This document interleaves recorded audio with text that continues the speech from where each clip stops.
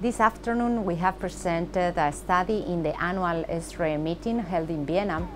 including almost 1,200 patients undergoing HRT cycles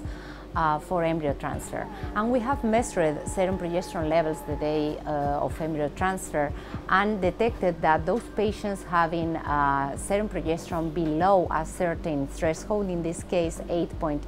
nanograms per ml, had a significantly lower ongoing pregnancy rate. In fact, we saw that the decrease was 18%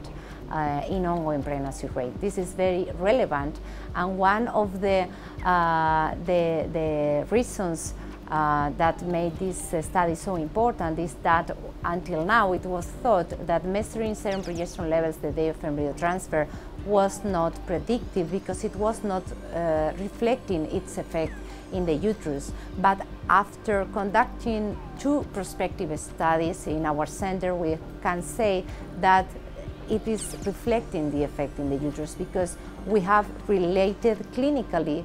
the uh, serum progesterone with the ongoing pregnancy rates. So now we are, have started measuring progesterone to all our patients undergoing HRT cycles and we have started some lines of research just to see how can we uh, individualize the luteal phase support in order to improve the prognosis in all our patients.